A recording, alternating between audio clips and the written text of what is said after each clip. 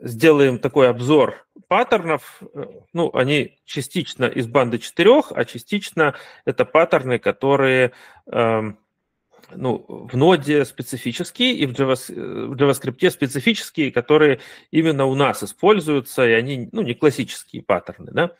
Ну, э, как минимум, э, что мы, давайте самое простое, что мы используем из JavaScript. У нас есть типичное, встроенное в язык, э, такое, с чем мы имеем дело каждый день. Это итератор, да, у нас есть реализованный уже в языке Э, контракт итерирования, поэтому паттерн итератор у нас даже не нужно никаких классов делать, он у нас уже реализован, и у нас есть символ итератор, и, в общем-то, для этого, чтобы реализовать итератор, у нас э, все есть прямо в JavaScript, в языке.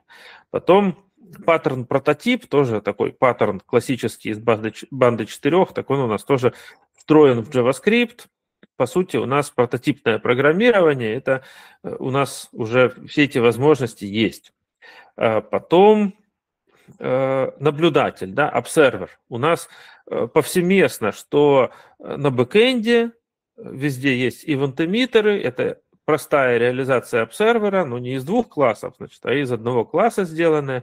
На фронте тоже есть event target, да, и, собственно, э, там она из двух классов сделана, то есть один класс подписывается, один класс э, это самое, выдает эти события. То есть, по сути, у нас паттерн observer сводится к двум разным реализациям паттерна. Это event emitter и event target на клиенте, ну, во всем браузерном программировании. Потом а, что у нас есть из таких э, вещей, которые еще встроены в язык, да? Ну, по сути, у нас синглтон э, реализуется, нам не нужно его делать при помощи там классов или как-нибудь там хитрым каким-то способом. У нас в JavaScript система модульности отдает синглтон. Э, это нужно немножечко объяснить.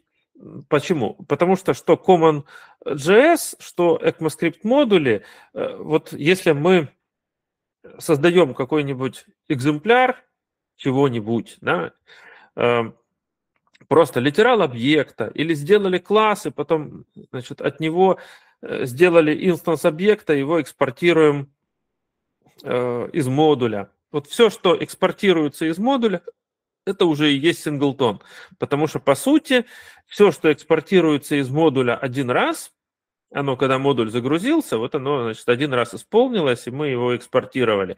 А потом мы в 10 местах именно этот инстанс импортируем. По сути, мы Система модульности нам всегда дает возможность сделать синглтон э, вообще без всяких э, дополнительных классов, без всяких дополнительных конструкций.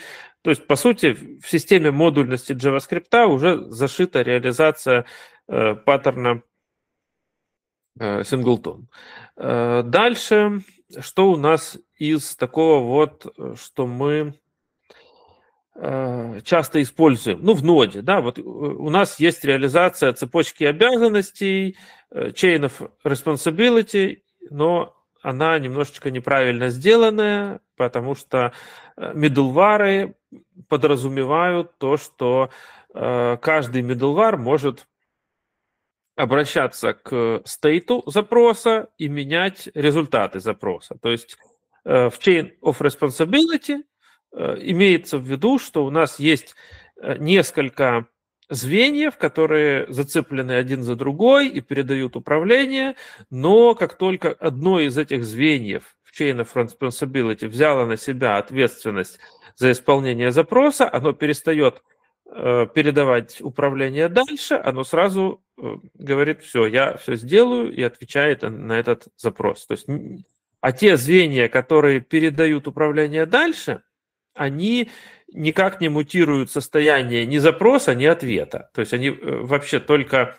проверяют эм, это их случай или не их случай, и передают управление дальше. Вот э, что такое chain of responsibility. На самом деле э, у нас что-то похожее есть, но оно у нас криво реализовано традиционно в большинстве фреймворков, и лучше такой способ не юзать, это мы понимаем.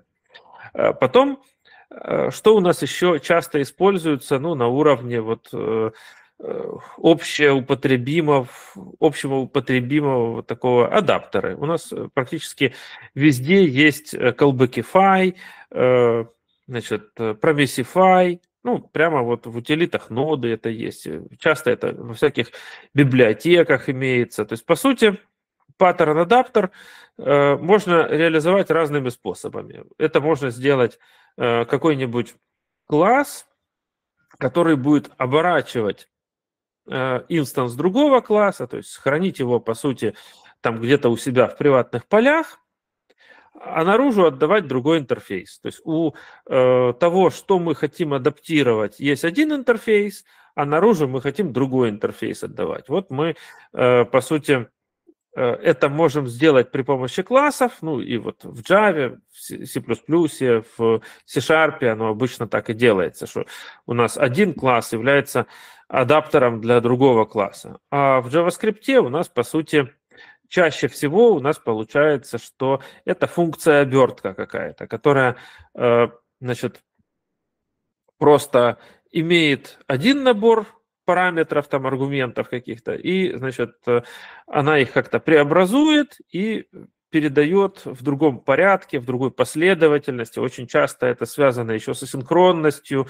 Ну, то есть она преобразует целый контракт, вот контракт callback last error first в контракт промисов, там, ну, например, да, или там э, контракт э, итерируемости, там, значит, в какой-нибудь контракт, который тоже, тоже позволяет итерировать, но итерировать поток событий. Вот чтобы мы, э, значит, э, итератор преобразовали в э, обсервер. Вот это тоже, тоже такой адаптер, который умеет преобразовывать э, один подход к итерированию в другой подход к итерированию. Вот нам может оказаться, что у нас э, приходят э, пакеты на стрим, ну, практически там на какой-то readable stream, вот сокет какой-то, да, а, а мы хотим э, не просто там идти фарофом по этим пакетам, а мы хотим эти все пакеты отправлять куда-нибудь в RX, и чтобы он их как-нибудь там фильтровал, как-то преобразовывал, ну или написали свою поточную обработку э, событий и хотим тоже, значит, э, что-то с ними там делать. Э, ну вот, по сути, мы можем тоже написать такой адаптер, который будет из итератора читать, а куда-нибудь, значит, в другое место писать. А форов у нас, по сути, умеет работать, видите, и с итератором, Фаров умеет работать со стримами, ну, то есть он вот такой вот более универсальный. У нас вот цикл Э, обычный JavaScript, что он с несколькими паттернами работает. Он умеет и с итератором работать, и с, э, по сути, потоком событий, и, значит, э, вот такое. Так, что у нас еще есть из часто используемых паттернов, которые, ну, вот просто в каждом приложении бывают. Да? Это фасад. Да? Фасад какая его основная идея?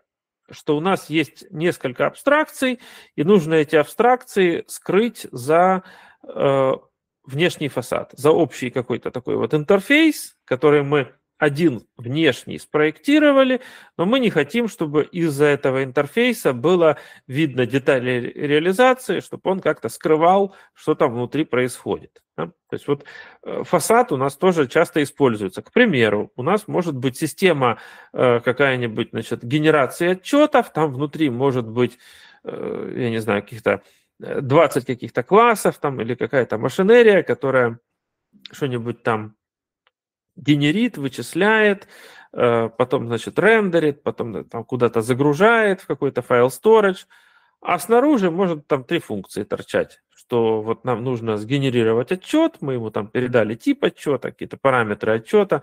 Вот фасад может быть очень лаконичным.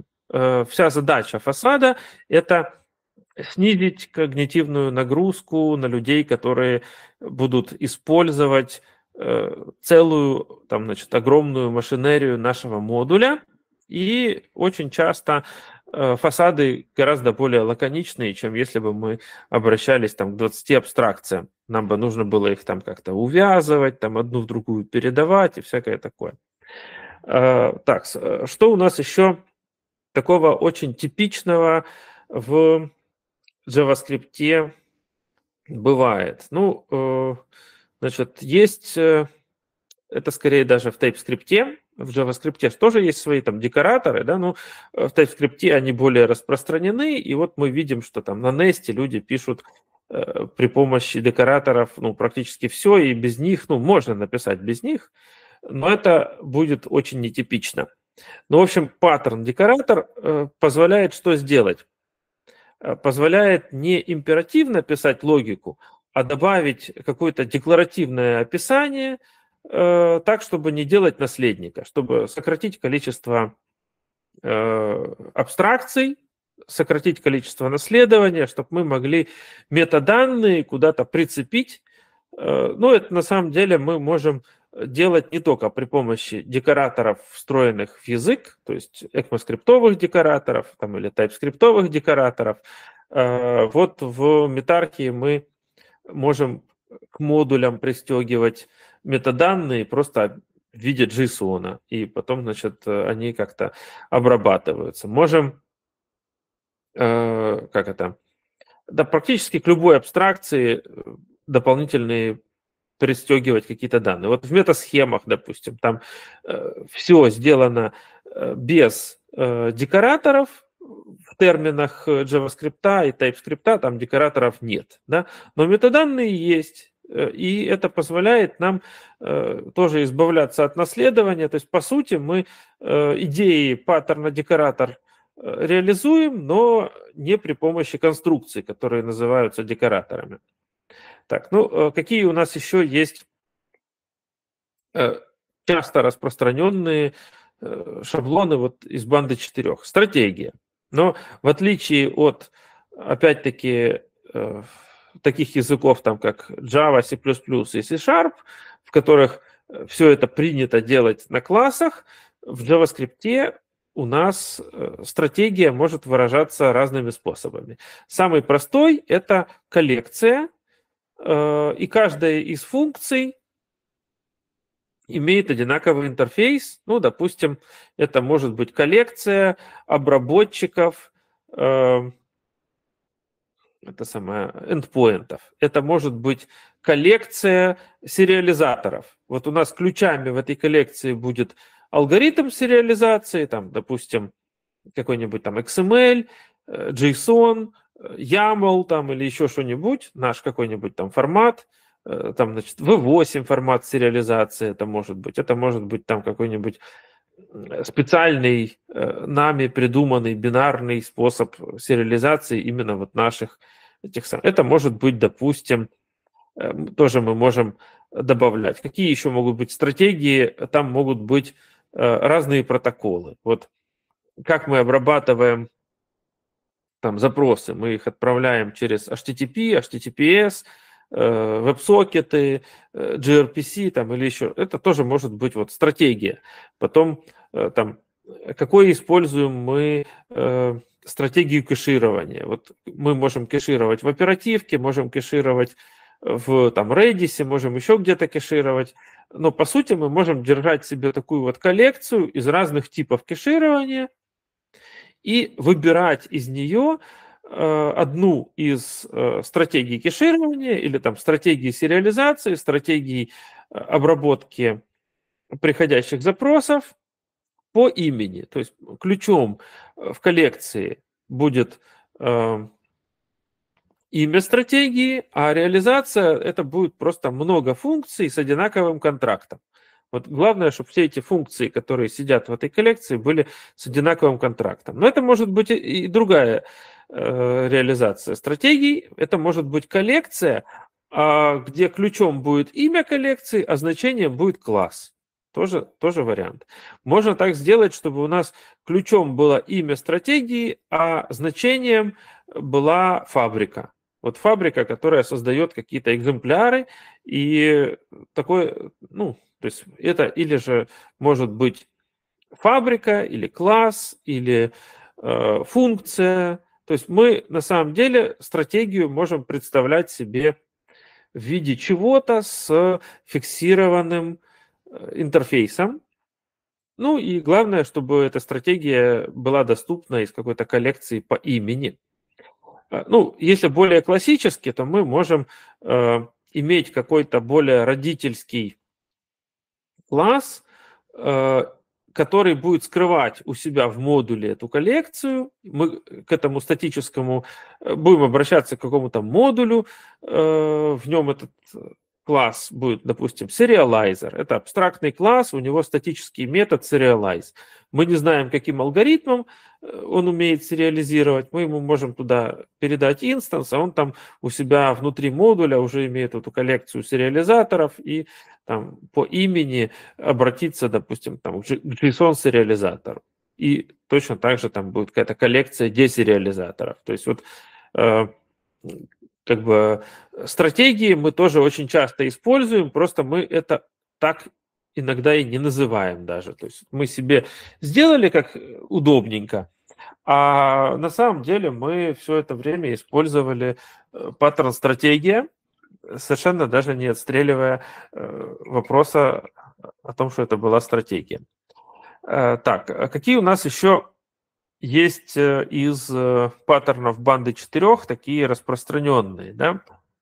Э, значит, мост, команда, посредник, компоновщик, снимок, state, потом flyweight, visitor, что у нас еще есть, и прокси, да, ну прокси, да, вот мы еще, кстати, прокси, у нас просто в JavaScript э, встроен как в язык, да, по сути, нам ничего не нужно э, плодить для того, чтобы реализовать прокси.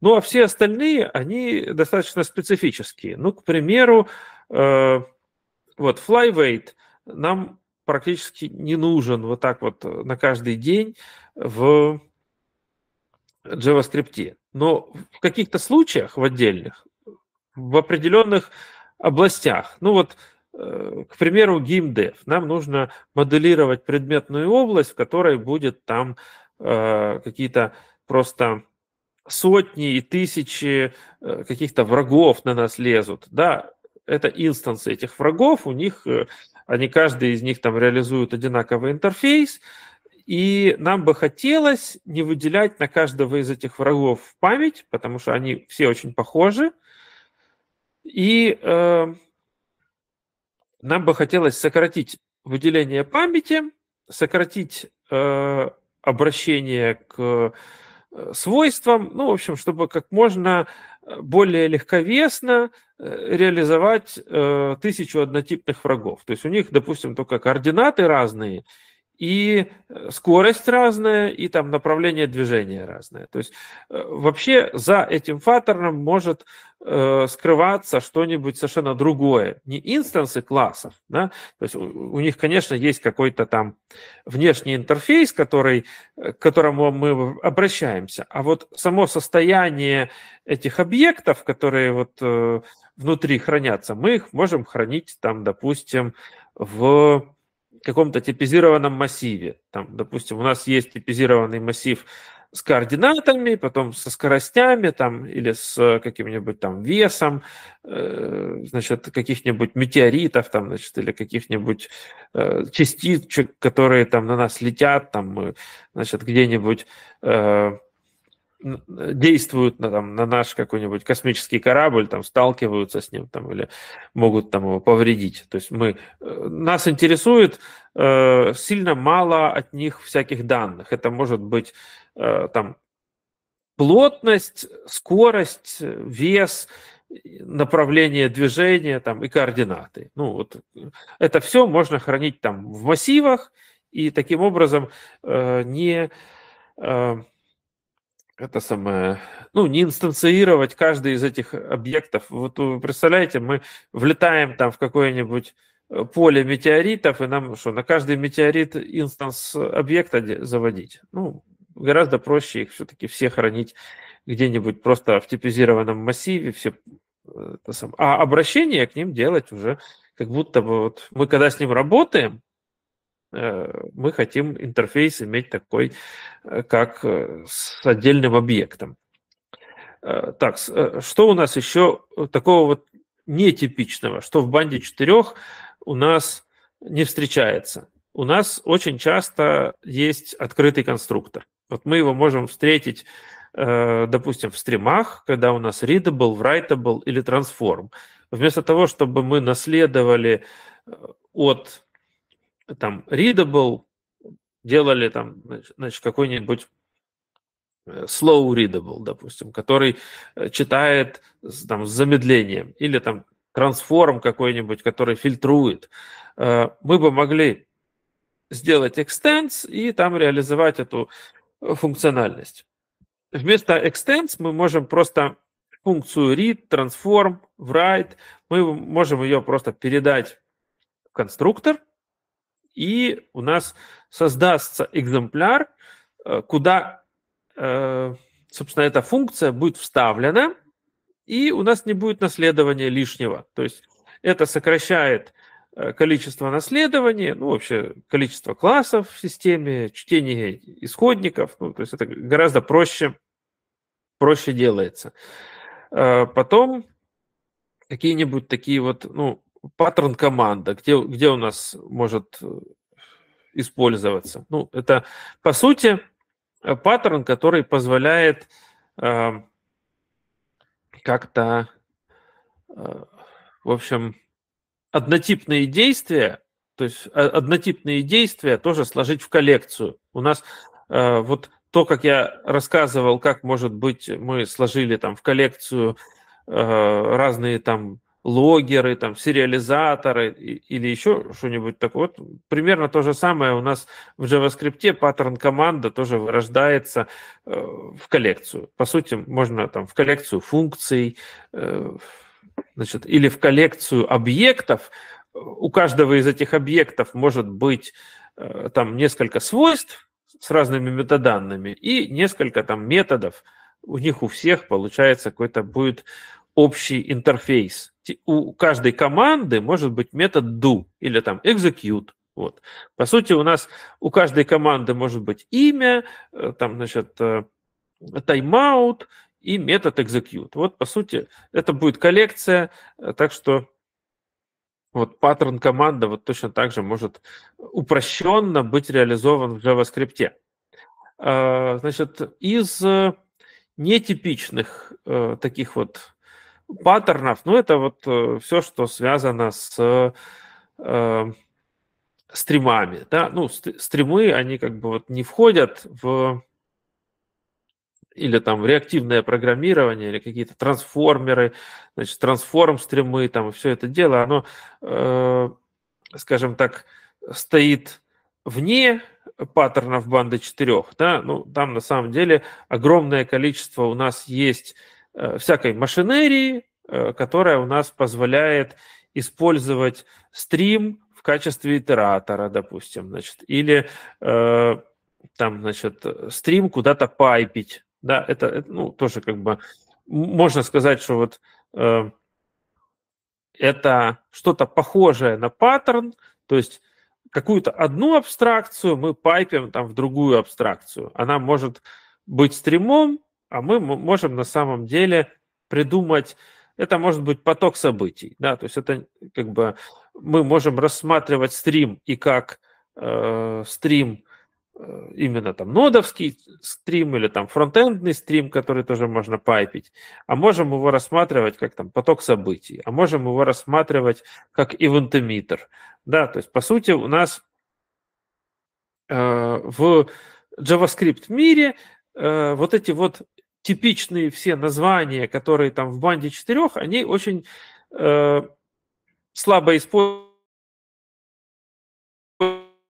их Э, внутренних культурных особенностей, внутренних своих названий, и мы это уже просто привыкли называть по-другому.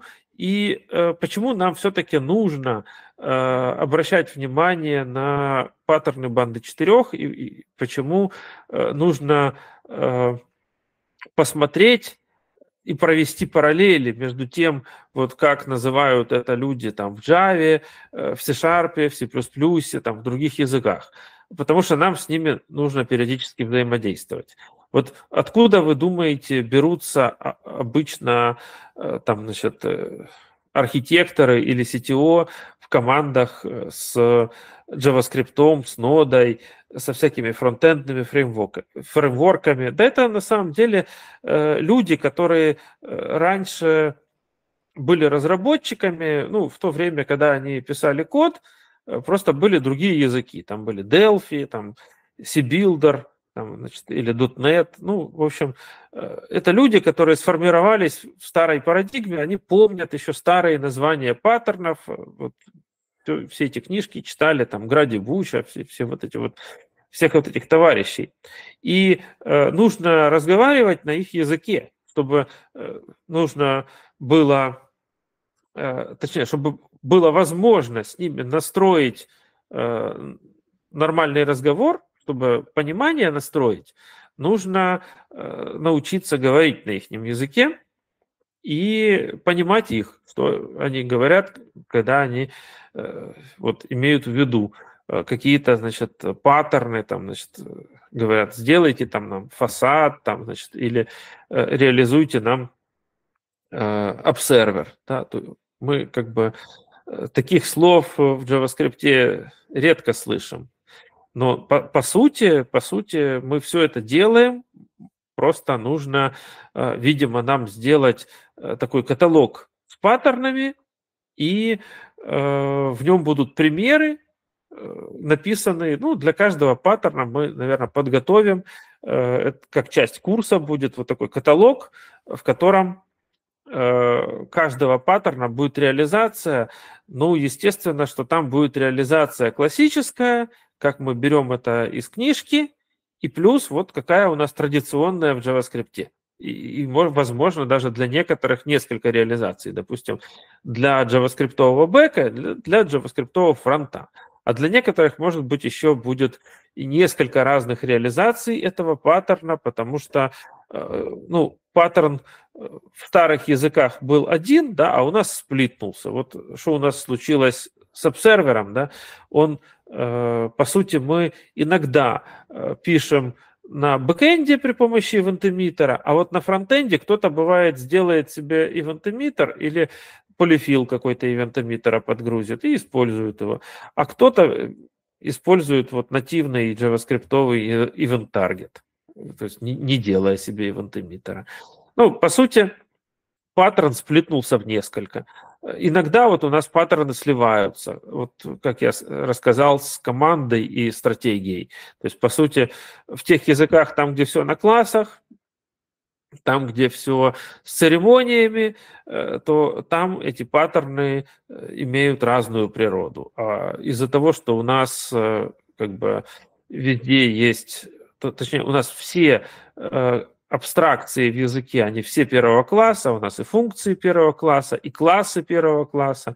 Что это значит? Это значит, что, э, по сути, э, JavaScript один из немногих языков, где вообще функция может вернуть не инстанс класса, а сам класс. То есть мы можем на вход функции передать класс, там его внутри заэкстендить и вернуть как результат функции. Это вообще очень нетипичное э, для языков программирования э, явление, что так вообще можно сделать. Да? Ну, то есть у нас классы первого класса, то, что называется, то есть они являются э, основной абстракцией языка, над которой возможна любая модификация в рантайме.